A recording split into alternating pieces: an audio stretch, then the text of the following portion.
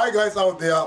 As you can see, the bus is ready, full with books, full with computer. I've serviced the bus and it's now driving perfect.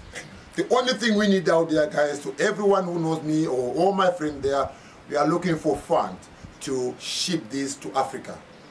And if you can help, please, out there, we can feel this dream to be in Africa. Please help us. Thank you very much. Thank you.